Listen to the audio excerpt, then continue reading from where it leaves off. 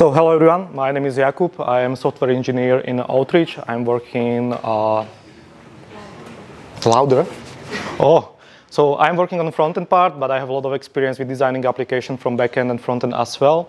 So today I will be talking about scaling up the front-end part of your application. I will do it a little bit as a story, where let's say you are in a pub with friends, you get amazing idea for new project, you will do it better than otherwise, it will change the world. And uh, how to do it. Next day, you woke up, hopefully you don't have no hangover, and I will move it into future. So I will be talking about different stages of your company from like if you are only one engineer to like one team of engineers and to like big team with multiple engineers and what you should focus on on each stage of your like progress. And how you get to big, slow corporate when you try to only implement like cool features to speed up your process. So when you are the only engineers, you engineer into team, you should be focusing really on creating MVP, like minimal valuable project. You shouldn't spend too much time writing 100% coverage test because the idea can change multiple times and you need to start validating this idea with your customers or users. And spending time on custom lint rules or this test can postpone to mode when, the time when you start validating with the users and then you need to change it. For versioning or like deploying this to users, I will use for now only versioning, where you just create version from your branch and apply it to upload it to host. Um, for example, I will use TypeScript for this project, React, and GitHub repository and Google Cloud Platform because it's easy to create the domain and it's easy like to upload a new version of the code really, really fast. So when it starts grows and you have another friend want to join as an engineer or you can start hiring other engineers, you should start focusing and investing time into patterns like how to write the code, how to format files, or how to test and provide as much automation automates as possible to speed up the process and simplify the most repetitive task. So what I mean by this uh, formatting, for example, patterns, let's say you have a colleague has different style of formatting for his code. He make one line change in his code, and you are trying to uh, review his PR. Here is only one file in line change, and it's really hard to review it. So therefore, we can introduce tools like Prettier or ESLint that can help you with these uh, unifying patterns. It can define rules how the users can uh, work with us functions. Let's say there is no switch without default, so everyone has same patterns.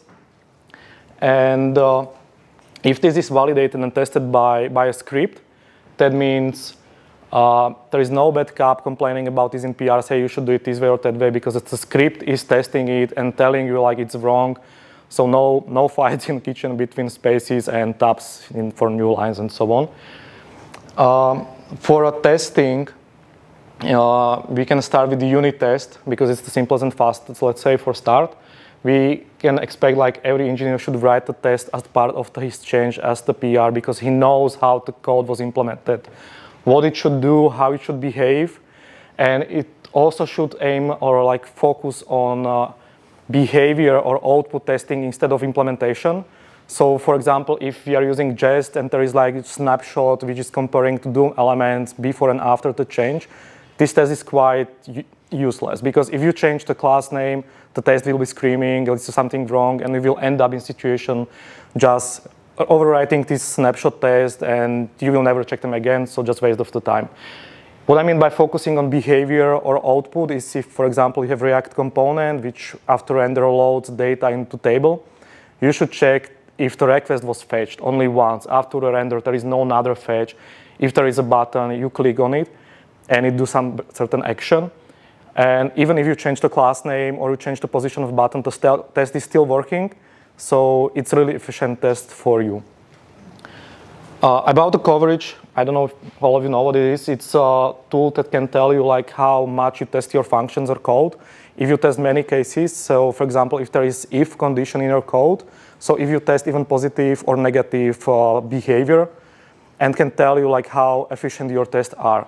Of course, focusing for 100% coverage doesn't mean your function is the best or like no error can be code because you just wrote function on even broken behavior, you can write this test. So aiming for 100% coverage doesn't mean it's like, and you should spend really on behavior you want to achieve. With automation, what I mean was uh, if you open a pull, pull request uh, to merge into master branch or like implementing your change, not directly committing into master branch, we can implement uh, tools, we can use tools like Circle CI or GitHub Actions to check some stuff. We implement this formatting, we implement rules, and we can test it on a code because the engineer who created this change for example, didn't implement this on his uh, editor, didn't use it in editor, so you can still end up in situation you will have broken UI in a code. Also, you can use tools like Danger.js that uh, can help you define your own custom rules like user didn't update changelog in his PR or the PR is too big. He updated 100 files and really who wants to review 100 big changed files PR and even how you can feel confident to approve it because it's, it's too big. So we, we, again, we can block these all actions like required and until the author of the PR didn't solve them, PR is not mergeable. So again, no complaining in code or like fighting with engineers on, in comments. Um, so you have your first users, you're getting bigger and bigger. You users are using the application. You are growing to certain point where you have so many engineers and having like one big engineering thing with 20 engineers doesn't work that well, you will need to split them. And mostly you will split them the way where the, each team is responsible for specific part of the application. So in this case, it's really important to keep cross-team collaboration and uh, be aligned. This team should be aligned not only from product point of view, but also from engineering one. That means they should discuss how to implement certain features, what is blocking them in implementing and what is like the timeline, how they can de deploy it, and provide this feedback back to his PM so he is able also like to plan next, next work in different teams or across multiple teams. It can happen you work on one feature and it touch multiple teams, so you can actually you can go to the team code and change it.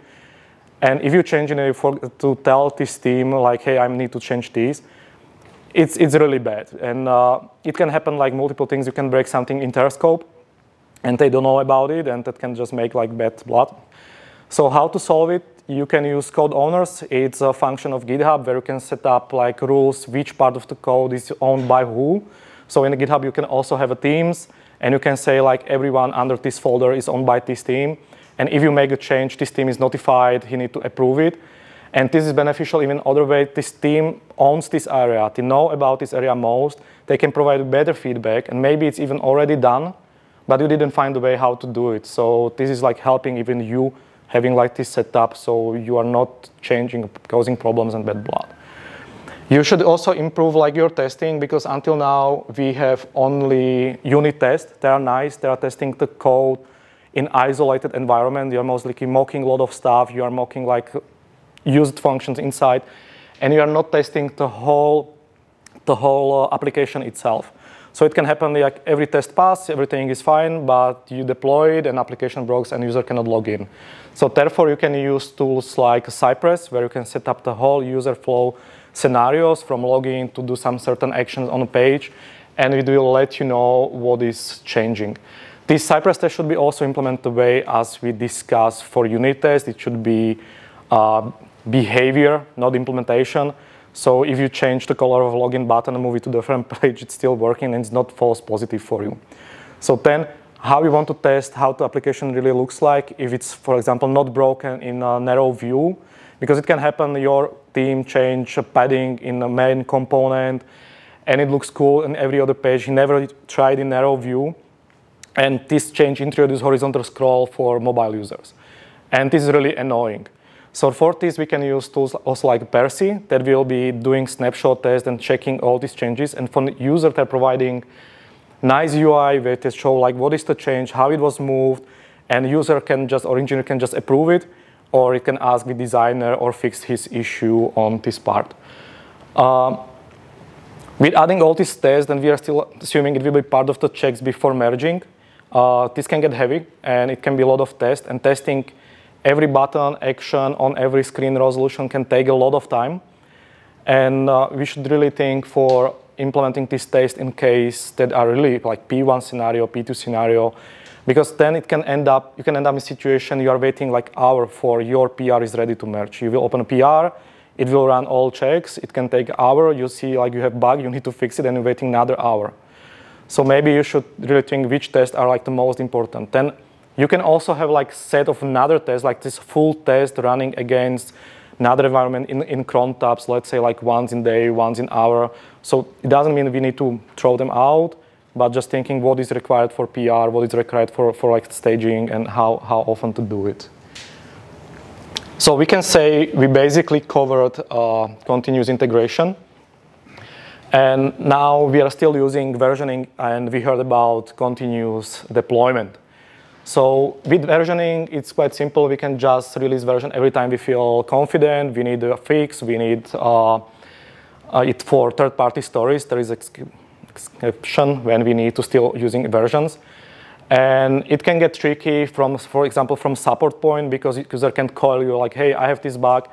And you ask him on which version is he, and he will tell, like, yeah, it's fixed in this version, and this can really complicate the whole process. And if you are not limited by versioning, you can use uh, continuous delivery, where you can actually even automate this, process when every time you make a change, runs every Silk job successfully, you will deploy to customers. And users always probably have the latest, latest versions. So which one is the best? it depends, right? Um, as it can, as it always works in IT, there are some downsides from continuous delivery let's say we introduce our first continuous deployment, oh, the deployment. It works smoothly. I made a change, I merged it, and in like one hour or two hours in, with customers, and user is already using it. But what it also means is I can really fast broke whole experience for user, right? so I am broking and pushing the change, which wasn't catched by, by testing all these snapshots or integration test, and you break the UI. You also have a way how to relatively fast way to fix it. By the whole same process, you will provide a fix, you will merge it, maybe force merge it, not waiting for all tests. But it's not that efficient, right? And so in this case, maybe we can start thinking about the rings. It can be different environments. It can be like a staging, where staging always get like the newest version. And if staging is safe for one day, hour, it depends on us, it can go to internal usage. It can go to another ring where we have users that are really eager for like getting the newest version and they know it can be something broken. But in this process, when we set it up, we have this propagation when every hour, day, it goes to another ring. We should be able to stop this propagation and we discover error and also be able to revert it back. So we can solve the front end really fast. If you have all users only on one environment, it becomes tricky. Like in this, thesis, like you can have two, like go like the previous last working version, you can choose the version. Uh, what is the next? Oh, sorry. uh, that was too fast. Um, also, with this continuous delivery, we, we agreed, like we will have small PRs, only 20 files will be changed, or 50 files in one PR. So how to deliver big, big feature that you cannot definitely fix, merge into one, one PR. You can go to way like feature branches, where you are pushing everything into branch, someone trying to merge it with master, keep it up to date, and then one big bang to master. But it also breaks the idea of continuous de deployment or delivery because you, you need to maintain manually this whole branch and test it if it's okay or not. So there is another cool thing. It's called feature flags. How many of you knows what the feature flag is? That's cool. That's cool. Uh, feature flag is a thing that allows it's directly implemented into your code and it can turn off and on some specific part of the application. So for example, you are working on a new feature which is under button, which opens some super fancy modal. You can hide it. You can literally type in code like show this button if the feature flag is on. And these feature flags are controlled from another third service, or it can be implemented by you. For this, I will use LaunchDarkly. They have like really multiple environments. You can have a lot of stuff with it. And actually, you can even go further and start releasing it by, by rings, by users, you can do ABA testing or even percentage rollout. So you don't go with new change, big bang, and immediately get everything, but you can start testing. And it can be used even in a way when uh, and uh, there is a bug or problem and you have it behind feature flag, instead of reverting the version back, you can just turn off the feature flag. This is much faster, much simpler. Uh, so it sounds like it can replace all rings, right? So I will definitely not recommend that because also the problem can be in the code, it cannot be catched. The feature flag in off state can work wrongly again because if you are refactoring something, it can happen like, hey, this is if it's off, it's a lot of changes and doesn't work. So it should be just like extra safety guard for, for your changes and confidence to deploy things to, to production. So with great power comes great responsibility, right? So what I mean by this is uh, every feature flag creates new version right? So if I have uh, one feature flag, I have two versions of my application. If I have two version, feature flags, I have four versions of my application. That's actually expand, like it, it, it grows really fast. And if you end up situation, you have thousand feature flags, you can have really issues in future when combination of this feature flag breaks your application. So you should really keep kind of hygiene. If it's like feature flag, it's releasing new stuff, you should have like timeline how fast to roll it out and then get rid of the feature flag, deprecate it, remove it from the code, so you are not dealing with these uh, issues when combination of flags broke something for someone. Even investigation can be really hard if someone tells you, hey, it doesn't work for me, but it works for my colleague, and how, how you find it and how you solve it. Um, your application is still growing and customers are happy, everyone is uh, super excited about it, and then you receive a request from a customer, hey, I would like to, for example, use your application for extension in, in browser. Um, it will improve their experience, they can work even in different tabs, they don't even need to open your application, and it will even move your company forward, let's say. So there is multiple ways how you can do it, because you can also think about in the future, I want to introduce a mobile app based on JavaScript or embedded mode and can be used also outside. So how, how to get it into our code? And we can use multi-repo. That means for every project, we have own Git repository. Pros are it's a small code base. You are building, testing, uh, deploying only to one project you are working on. Cons are it's uh, disconnected from the whole, whole your environment. If you want to use uh, UI library in extension, the same style, same design, you don't have it. You need to copy it, you need to replicate it, you need to go by NPM packaging, versioning, and it can get really messy, uh, or you can end up in duplicating the code. Another approach is you can have monolith, what basically probably you have from your start, or monorepo, where actually monorepo is you have multiple packages or like projects into one repo. They are based and used uh, internally, like you can do dependencies on internal project. So you can share, for example, one package can be UI, another package can be uh, tools for formatting date because you want one specific way.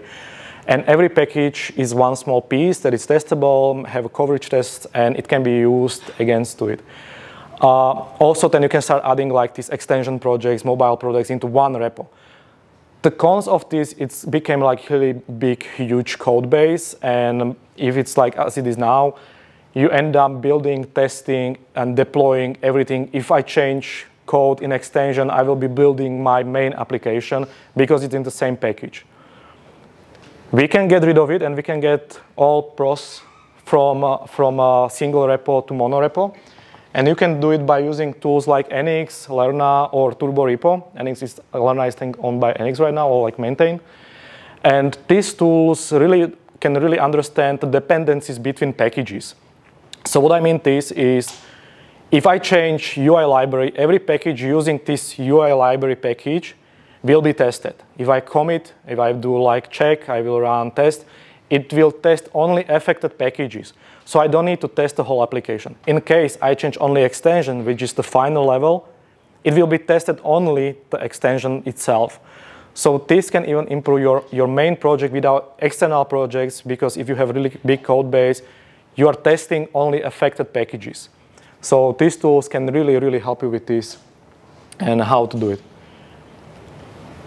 Now we have a lot of customers and we don't know how the application works for them. We can ask them, we can call them, but we really don't have any data. So we should start collecting and see how the application works in the real world because developers has different uh, set of data he's working on. He has like super new latest MacBook, which is really fast, and users have different different software or hardware.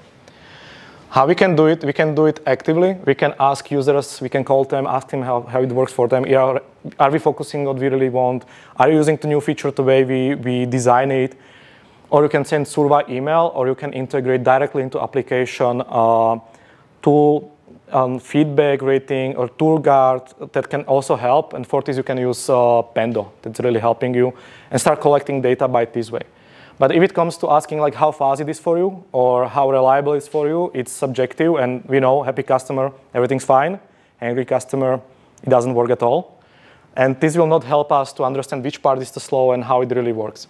We can do it other way, like passively. We can start collecting data directly from, from application. Uh, you can do and measure time from moment you start loading data until you load them, then to continue like how much time it takes to render the data for a user, and you can measure even time, how much time from opening the page it takes to user can see first, first input. And this will be objective data. So we really know how the application is fast, where we have like a place to, a space to improve. Uh, and we can also check, and we can send whatever we need basically. We can even also test how users are clicking on specific button, how often, like which for example, filters often they are applying, and we can sort the filter based on how often the users use them, like to improve the UI, or activity, daily activities of the user, how many users using the application daily, weekly, and so on. These data alone are not that much useful. We can look them, but we need to somehow aggregate them. What we can do, we can create dashboards. Uh, as a, we can use Datadog for collecting data for dashboards and also for monitors and we can visualize them in, in uh, dashboards. Then, I mean, we can have aggregate value like one big value in a dashboard like for success rate. That means how many requests for loading data were successfully. And then we see if it's 99, it's correct, it's fine. Uh, we can also see how much time it takes to show data. It can be seconds, it can be 10 seconds. This can help us to detect problems. We can detect problems even before user call us because until now, until introducing this uh, telemetry, this data, and monitoring, if something happened in the user side, on user side, we have to wait until they call us and tell us, hey, this doesn't work for us, it's broken. And we don't know what is broken, and it takes like whole process. But now, when we have this data, we can see the success rate, for example, significantly drop down. This can be caused by new feature which breaks it for everyone. And thanks to this, we can even start solving this issue immediately before even customers start calling us and solve the issue really fast. We can also detect anomalies uh, where, for example, daily usage drops down because also if users cannot use this application, there is no error, right? So even looking on success rate itself, without how many users is usually using it, don't tell you it's not broken. Can tell you in some cases, but not in most all cases.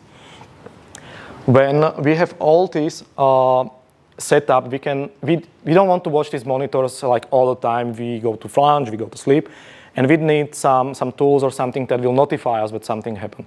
So for thing, we can introduce or like implement monitors. It's also part of the Datadog where we can set up simple rules. If this success rate drops under 80%, send a warning message to Slack or something, it drops under 50%, trigger like messages, or we can use PagerDuty, which is like software then is used for on-call services. They will call you on the phone even if you are midnight, like it's, you can have it on phone and it will really trigger you. So you can keep all promises for customers, like to keep these SLAs and everything, and you know about the problem as first, as, as soon as possible, so there is no delay, no problems with it. And I have something more. Yeah, and, and one nice thing even, if it is monitors, we can even link them to, for example, feature flags. If we have big feature, we plan it like for a long time, we can even link it to feature flag.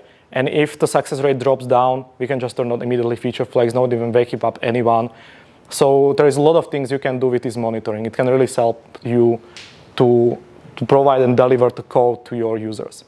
So what we tried just was like to improve our process, like how to deliver things, how and why we introduce certain uh, tools. And now we have everything what like big companies have. We have visual testing, monitoring. So that's end of this presentation. I show you a few references so you can look and check them by yourself. And yeah, that's it. Before we finish, do you have any questions?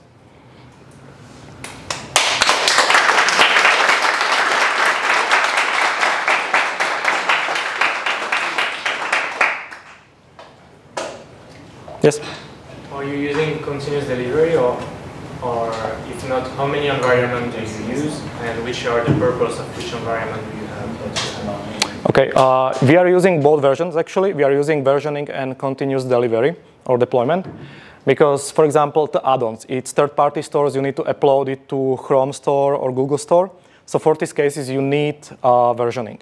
But for main application, we are using continuous deployment, and we have multiple rings. The main one is uh, like the first one is a staging. Uh, from the staging, it goes after some time. If it's okay, we are also running tests, as I mentioned, these all tests in uh, end-to-end testing running against the staging, not uh, in build. So if this everything is correct, we, we go to another ring like internal usage, then another set of users, and, and there is like one more ring. It depends on your project, how big it is, how much you want to scale it. And even if you have many rings, you call it. Um... It, have many rings, the idea should be it goes from ring to ring. So if you have 10 rings and it goes to last ring uh, to next ring every day, it takes 10 days to get it to last ring. So it's really based on your confidence how your changes are done, how your testing is correct, or like uh, solid and it's not causing you problems. If it's causing problems, we maybe can slow down. I will not recommend fully slow down like once a week because then you have a lot of changed codes going to customers. So the recommendation will be try to find what is breaking your experience.